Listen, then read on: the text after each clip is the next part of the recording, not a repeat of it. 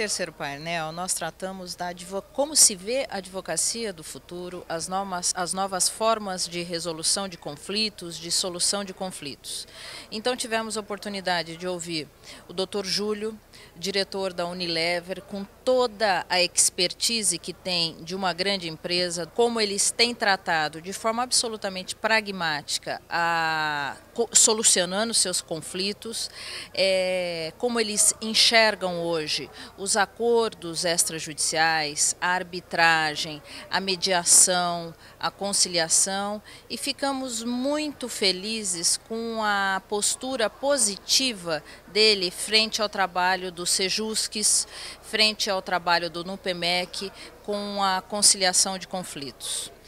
Em relação à doutora Amanda, que já teve um viés mais jurídico e mais específico ao trabalho das conciliações e mediações do Sejusques, da qual é uma das coordenadoras dos 15 Sejusques que temos no âmbito do Tribunal Regional do Trabalho da 15ª região, que é importante dizer que sempre foi e é a grande referência nacional nesse trabalho de conciliação e mediação, ela apresentou de forma bastante curiosa a questão inclusive da arbitragem, que é algo que vem sendo é, pesquisado e debatido no âmbito do direito do trabalho, que antigamente era algo mais afastado,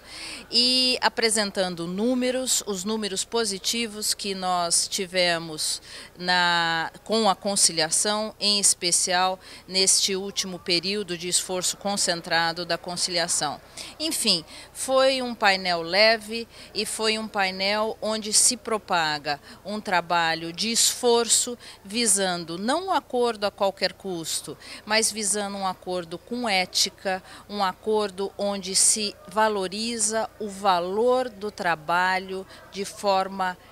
grande, lato senso, o valor do trabalho para o trabalhador e o valor do trabalho para a empresa.